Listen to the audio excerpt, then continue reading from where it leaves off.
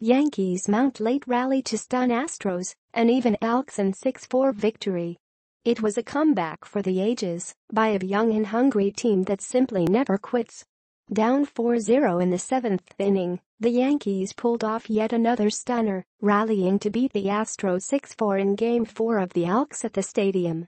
Gary Sanchez delivered a go-ahead two-run double with one out in the eighth, snapping in 0 for 13's start in the series.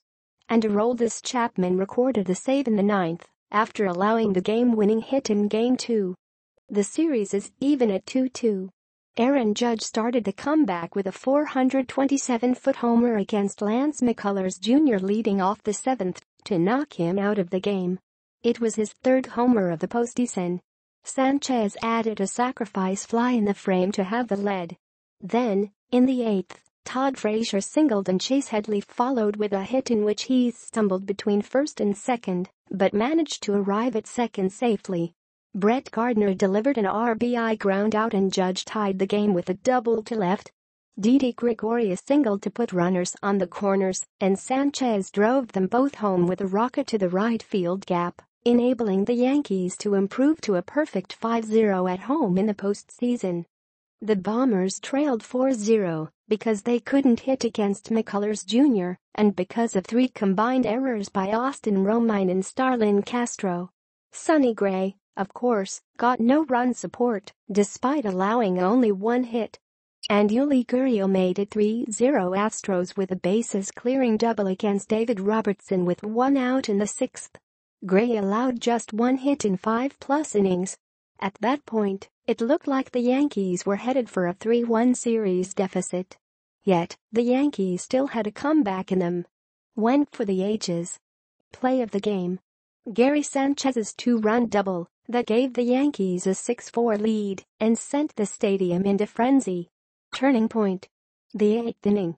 The Bombers never quit, pounding Houston's suspect bullpen with every clutch hit. Aaron Judge arguably came up with the most clutch knock of the frame, as his doubled after he missed two very hittable pitches from Ken Giles, tied the game at 4-4. Star of the game. Aaron Judge, who delivered like the MVP caliber player he is when the Yankees needed him the most. His homer started the comeback and his double knotted things up. Stat of the game. The Yankees had been 10 to 54 combined between the regular season, 10 to 52, and the playoffs, 0 to 2, when trailing after six innings. Hero. Gary Sanchez, who hadn't recorded a hit since Game 4 of the Alds.